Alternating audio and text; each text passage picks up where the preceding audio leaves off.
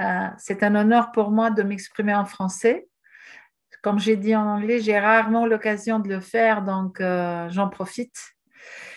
Je suis ministre du Tourisme et de l'Environnement de l'Albanie, donc pas seulement ministre de l'Environnement, mais Tourisme et Environnement, ce qui n'est pas un cas euh, commun. Très rarement, on trouverait, à ma connaissance, il n'y en a peut-être pas d'autres, gouvernements qui mettent dans le, dans le même portfolio euh, le tourisme et l'environnement qui paraît être hostile, mais justement, c'est pour qu'ils ne soient pas hostiles quand on les a conçus dans, sous le même toit, dans le même ministère. Enfin, euh, l'idée, c'est de pouvoir garder l'équilibre entre les deux secteurs qui, euh, pour l'Albanie, constituent, constituent deux priorités absolues. Développement du tourisme, mais du tourisme responsable et durable, et protection de l'environnement, qui pour nous est très important, non pas parce que comment je dirais, euh, ça devient un peu à la mode parce qu'on en parle partout. Même quand on reçoit des mails, à la fin des mails, il y a toujours un, petit symbole euh, en vert pour rappeler que bon, on est politiquement correct, euh, même quand on écrit des emails, même si le contenu des emails pourrait être contraire à l'environnement parfois. Mais c'est parce que l'Albanie étant un petit pays, euh, est très riche en relief, en géographie, en rivières, en forêt, en montagne. Le trois quarts de l'Albanie, tout petit pays au nord de la Grèce, euh, en face de l'Italie, à, chaque fois que je parle dans des conférences internationales, je fais un effort pour vous situer un peu dans la carte du monde, parce que ce n'est pas toujours évident pour tout le monde où ce que ça se trouve.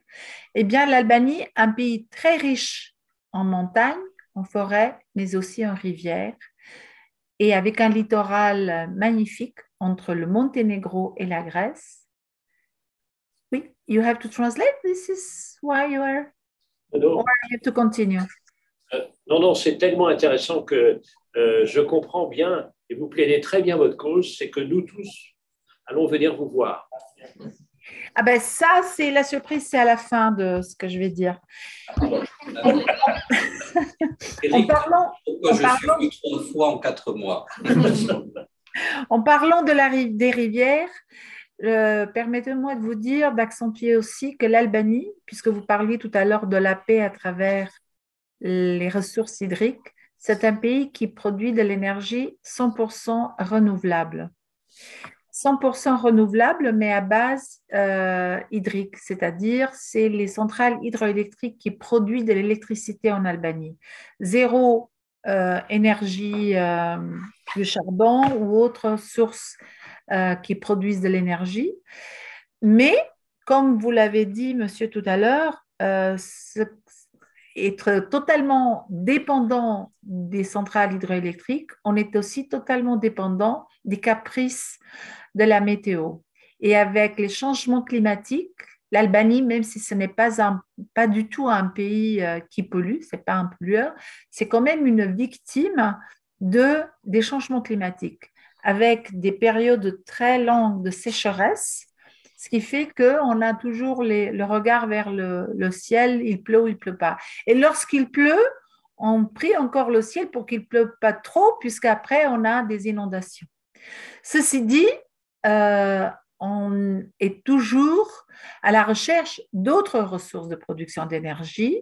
Étant un pays avec plus de 300 jours par année ensoleillés, on, a développé tout récemment des stratégies d'énergie de, panneaux solaires et de l'énergie euh, du vent par les éoliennes.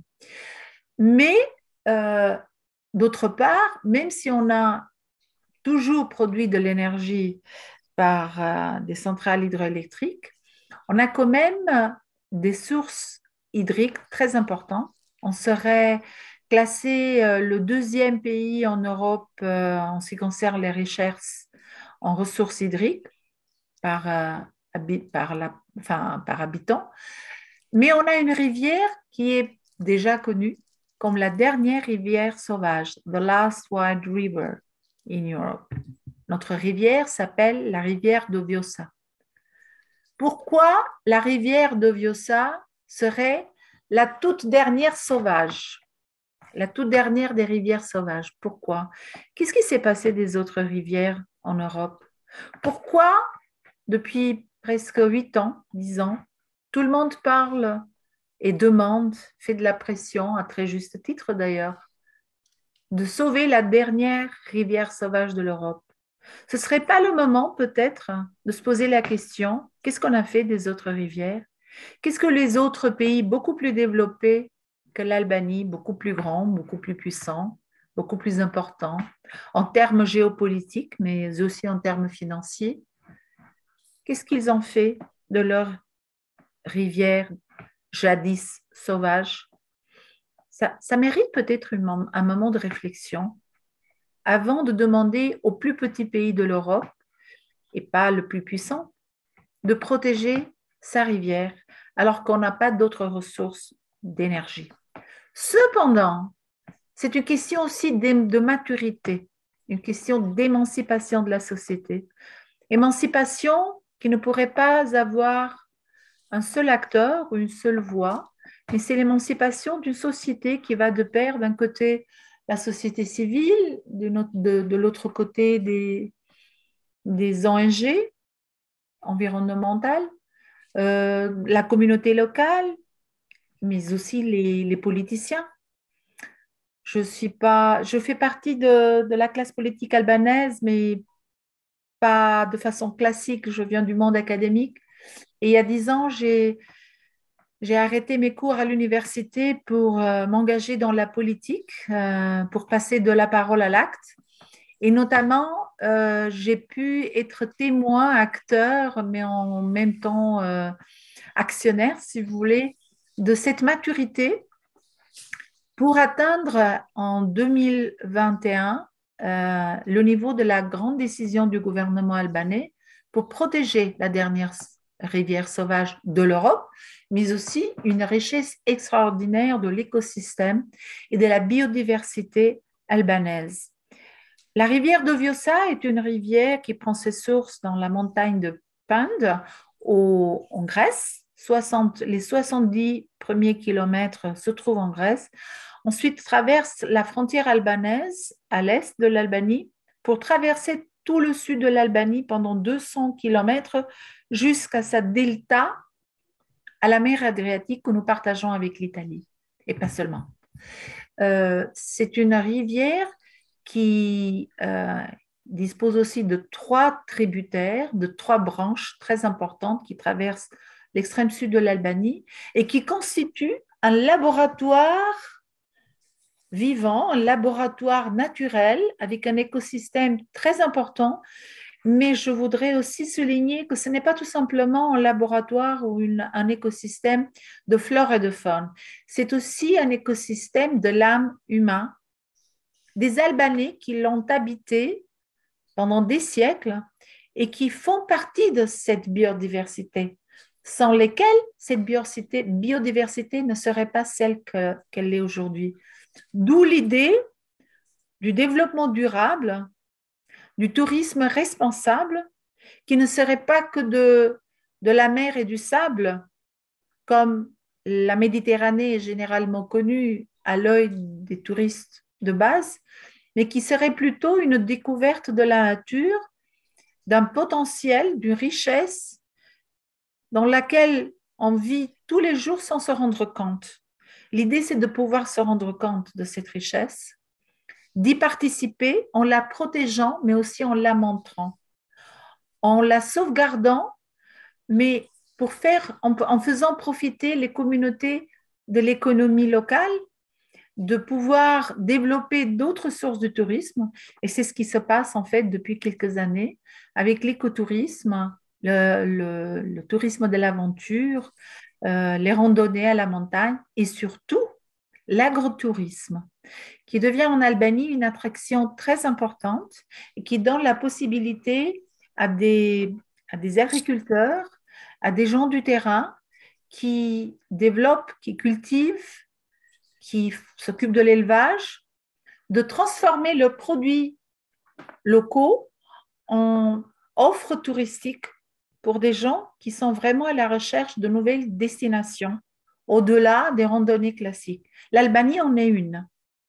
Une nouvelle destination qui, euh, la dernière année, a étendu euh, la superficie des aires protégées de 17% du territoire à 21,3%. Donc, notre engagement déjà pris au sommet de, Montréal de la COP 15 pour la biodiversité est d'arriver, d'atteindre 30% du territoire d'ici 2030, zone air protégée. Euh, ce sont des, des engagements trop courageux. Ce sont des engagements qui coûtent énormément d'argent, puisque ce n'est pas du profit immédiat, mais qui font preuve d'une maturité parce que je considère que c'est notre génération qui a causé beaucoup de dégâts à la nature, à la planète, au climat, aux rivières. Mais c'est aussi notre génération qui pourrait arrêter le pire. Donc, euh, c'est la raison pour laquelle nous avons pris cette décision. Ce n'est pas pour, euh, pour quelques jours ni pour quelques années. C'est pour les décennies et les siècles à venir. En fait, c'est pour nos enfants. Merci. Merci beaucoup.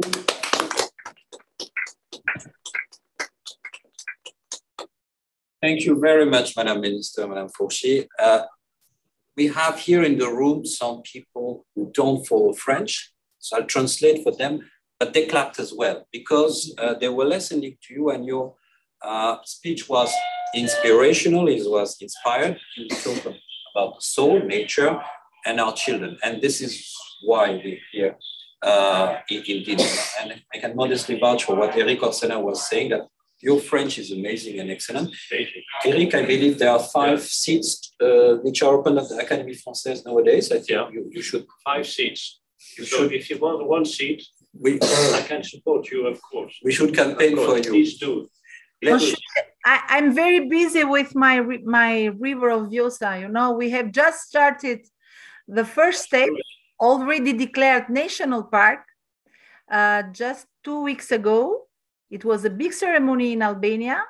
For this declaration, we have uh, accomplished this first step of the project together with uh, international NGOs, international experts, and uh, with the expert of IUCN, which is International Union for Conservation of Nature. Uh, but also with uh, a great cooperation with Patagonia, which is the American uh, big uh, company who helped us. And uh, now it's the, the second step. We have already started the negotiation with the Greek government in order to have a transboundary national park between Aos, which is the Greek part of the river, and Viosa, which is the Albanian part side.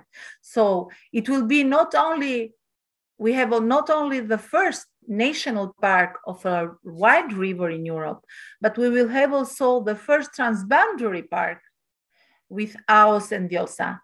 And the, the follow-up, uh, it's another uh, big step, the management plan. So for the moment, the the time is so busy and the ambition also.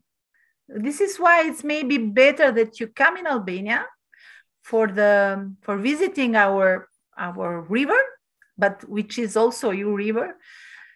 I'm saying this because with unesco we have already started the process or let's say the preparation of the process in order to for the inscription of Vjosa River in the reserve biosphere of UNESCO uh, natural uh, heritage list.